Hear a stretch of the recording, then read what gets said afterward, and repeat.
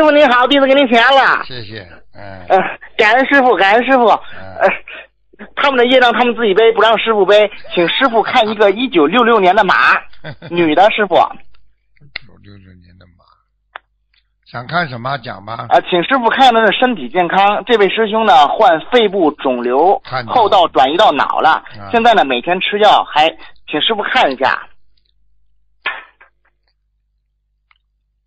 那现在肺部呢还有点结块啊，肺部是好很多，因为消炎了嘛。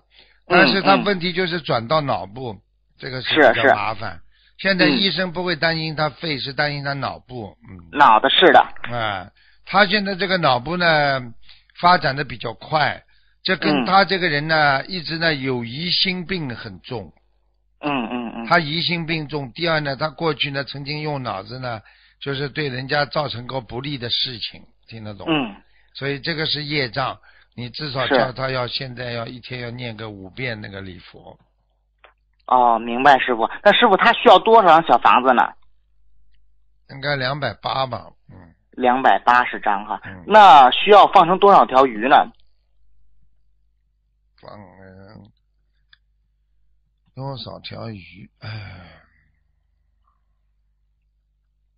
八百六十条。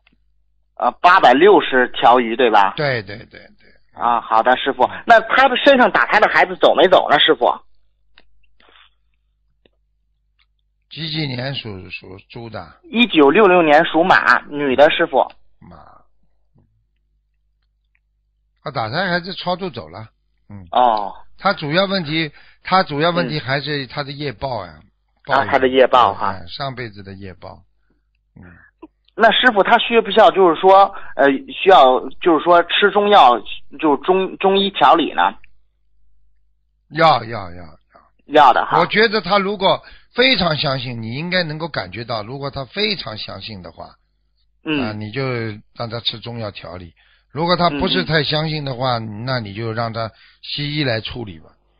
嗯嗯西医处理嘛，就是左一刀右一刀了，脑子上嗯这个左一刀右一刀的这个，因为脑部神经系统非常的慎密，而且呢，有时候呢，人的细胞源的每每一天的这个流量啊、阻隔啊，嗯它实际上对脑神经都会起到一定的这个这个我们说就是一个一个震颤的作用，因为人的嗯思维有时候是靠震颤出来的，你明白吗？明白了，师傅就。感恩师傅，也请也也请师傅，嗯，人家说起来一句话叫、嗯。